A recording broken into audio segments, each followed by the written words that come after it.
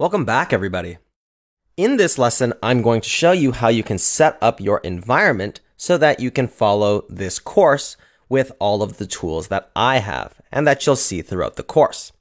Along the way, I'll mention some alternatives that you might use. It's entirely up to you because these are all just tools and I simply have my own setup that I use throughout this course.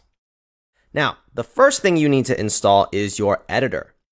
So if you already have an editor that you prefer, such as Sublime or Atom or even an IDE like WebStorm, you can totally use that. I like Visual Studio Code, so that's what I use. So in order for you to get Visual Studio Code, simply go to this link that I'm going to provide you in your resources, and then hit the download for Mac button. Now what this will do is this will trigger the installation. So simply choose the place where you want to download the actual VS Code, so I'm going to choose desktop, and this will download the zip folder for you. Then you simply just open up the zip, and now you'll have your Visual Studio Code application where you saved your zip folder. So now if I go to my desktop folder, I see it right here. So just double click to open it, and then allow your Mac to open Visual Studio Code. Because it's downloaded from the internet, you need to give it permission. Now, once you've given it permission, Visual Studio Code is up and running. So you now have the same editor that I use. The only thing I would suggest you probably do is add the code shell command to your terminal. Now we'll explain more about what that actually is in a little bit later. But right now, in order for you to add it, you simply hold Command Shift and press P. Then you're going to type command, and here you'll see shell command install code command path. So simply click that, and then it will install the code command to your path. Now, once you have your path set up, you're now able to use the code dot command to open up files and folders inside of your terminal, which we will do a lot in this course. Now, what is the terminal? Well, the terminal is actually going to be the main way that we navigate around our application as well as modify our files as you'll see in this course. Now, by default, Mac comes with a terminal. So in order for you to access it, simply go to your Spotlight search and type in terminal. Once you have that, just open up the first thing you see, and this will be the terminal that you can use throughout this course. Now, with this terminal, what we need to do next is actually install Node. Now, the easiest way for us to install Node is actually to use something called NVM, which is Node Version Manager. Now, in order to install NVM, simply go to the link that I'm going to provide you inside of your resource folder. And then once you navigate to this link, scroll down to this section called installation and update and simply copy this line and then paste it into your terminal.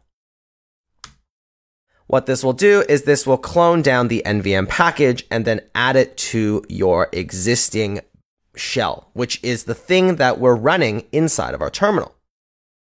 Now, once we have NVM, we have to actually close our terminal and then relaunch it. Now, once you've reopened your terminal, type in command-v nvm. If you see nothing listed, then this means that NVM is not yet loaded to our shell. So what we have to do is we have to actually scroll down here and we can see inside of these instructions right here on OSX, if we see that there's no NVM script, then what we have to do is first check if we have a bash profile. Now, you can do this by simply typing nano and then this tilde sign slash dot bash profile. Now, if you hit this and nothing occurs, meaning that there is no bash profile, instead of nano, replace this with touch and then run nano bash profile again because touch will open a new bash profile for you.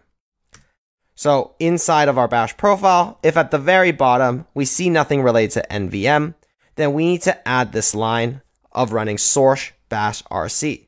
So let's just add that in right now. You can also copy paste this in if you want. Once we have that, we just need to save by hitting Command X. It'll ask us if we want to save. We hit Y, and then we hit Enter. And now what we need to do is we need to type source tilde slash dot bash profile to upload and rerun our bash profile that we've just made changes to. And now if we type in nvm, we'll see that there's something here instead of nvm command not found. So now we know we have nvm. So now what we need to do is actually install node using nvm. And the way we do that is we can actually first figure out what node version we want to run. So let's go to the node website, which I will link to you as well inside of your resources. And here we'll see that the latest version is 10.16.0. So we don't need to actually manually download this from the website. We can use NVM. So go back to your terminal and you can type in NVM install 10.16.0 or any other version of Node that you want to use. Now, you can also type in NVM, install Node, and this will give you the latest version of Node. So for us, I'm just going to use 10.16.0, and now this will install the appropriate version of Node that we need. Once it's done installing, what we need to do is make sure that we use it. So in order to do that, we can just say nvm use 10.16.0. And now we'll be using the right version of Node. We'll also see that npm was installed as well. And npm is what we're going to use to manage the packages, which are the libraries that we use inside of our JavaScript applications. So this is really good. We have both of them installed now, and we can check by typing node-v as well as npm-v. And here we see that we have both installed on our computer. So at this point, it's actually perfectly fine to continue with the course. You have Node, you have NPM, you have your terminal, and you have your editor. Now, the thing is that I use Yarn instead of NPM.